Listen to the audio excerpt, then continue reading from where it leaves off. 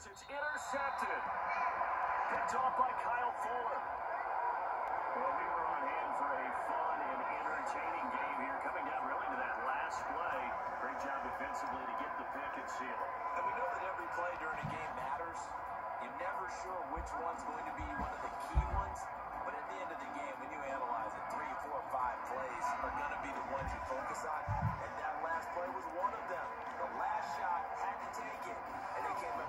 interception and sealed their victory.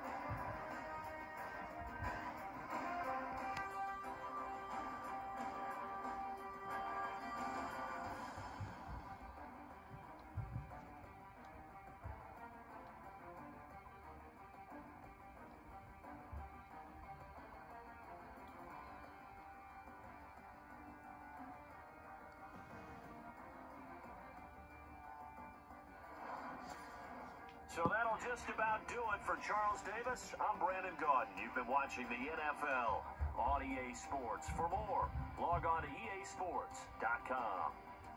We're off to battle the traffic on the 110 as we say so long from LA. Hey, at least the game was fun. That's true.